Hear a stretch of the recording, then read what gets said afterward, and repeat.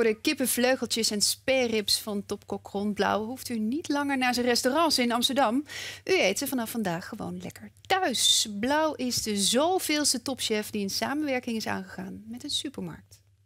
Uh, ik vind het ten eerste een, een, een, zeg maar een goede zaak dat, uh, dat, dat mensen kunnen kennismaken met, met, met de keuken, met goede producten. En daar zet Ron zich al sowieso met hart en ziel voor in. Maar een dergelijk product valt en staat natuurlijk met, uh, ja, hoe, hoe, is het in de keuken bij jullie thuis allemaal? Hoe komt het daar uh, op je bord terecht?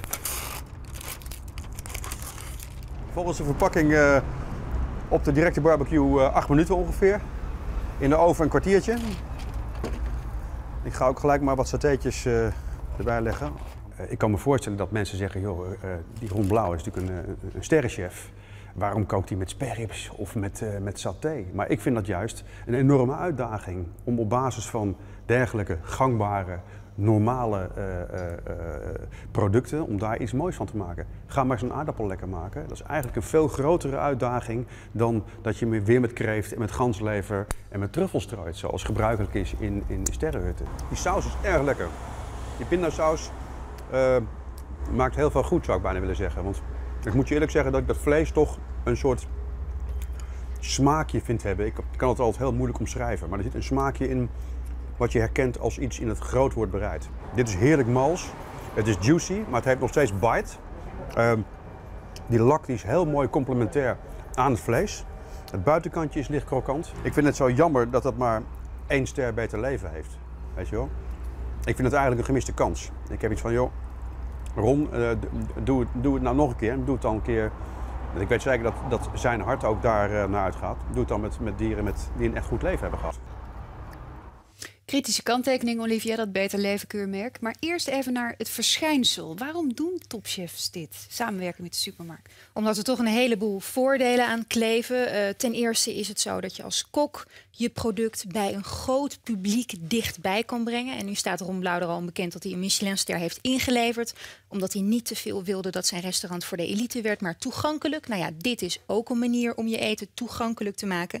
En daarnaast woont niet iedereen in Amsterdam en kan makkelijk bij Rons uh, binnenwippen. En op deze manier kunnen we dat uit de magnetron halen.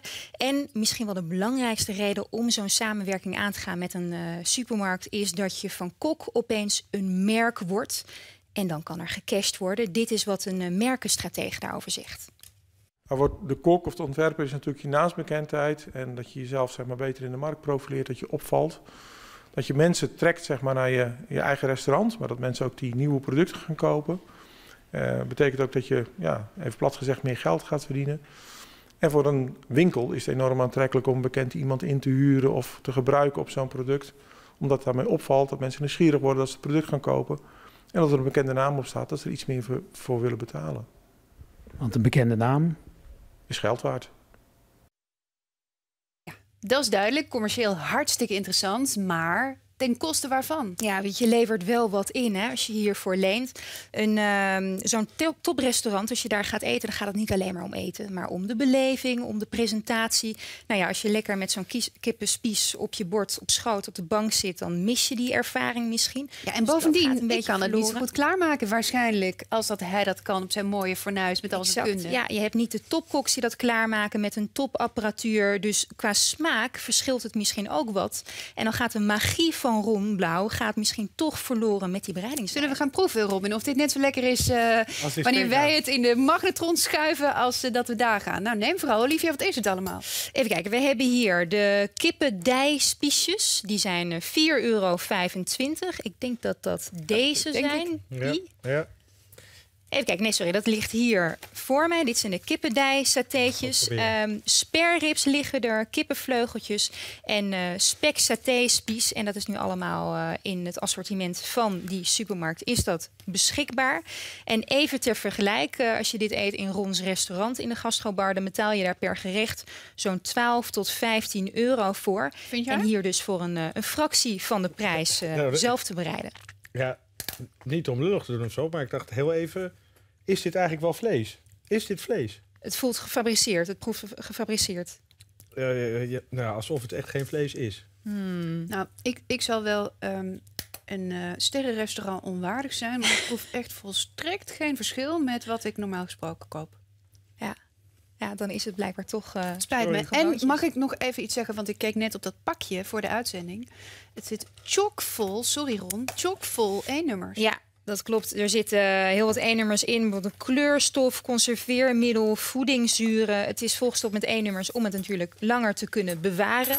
En je kan je afvragen, wat doet dat met de reputatie van zo'n chef-kok? Want die staat natuurlijk be- bekend omdat het kraakvers met natuurlijke ingrediënten, geen extra smaakversterkers.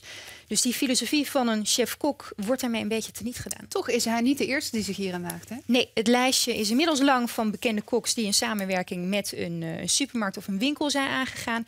Het spits werd in 1999 afgebeten door eh, de inmiddels overleden Cas Spijkers. Die bracht toen sauzen op de markt. Nou, de reacties van collega's waren moordend. Eh, hij werd gevierendeeld verguisd omdat hij dus zo'n culinair hoogstandje bij de massa zou brengen. Ehm, maar na Cas was het hek van de dam en werd het opeens geaccepteerd. Want toen was daar Britse kok Jamie Oliver met zijn gerechten, de potten en pannen van Herman en Blijker. Johnny de Boer die heeft wat kruidenpotjes op de markt gebracht. En eh Mosje Grot die kwam in 2014 ook met wat versmaaltijden. En we zien het ook in het buitenland. Zoals bijvoorbeeld topkok Sergio Herman, eh, goed voor drie Michelinsterren. Die is ook een samenwerking aangegaan met een supermarktketen. Deze is wel heel erg lekker, vind je niet? Ik ga hem ook proeven. Ja, nou, ik woon dus vlakbij Ron Gastro's Bar. dus ik kan er wel naartoe. Ehm, maar dit Ga je er ook, daar- eh, ben je er ooit geweest? Nou, dit is daar geen reclame voor. Olivia, wat vind jij?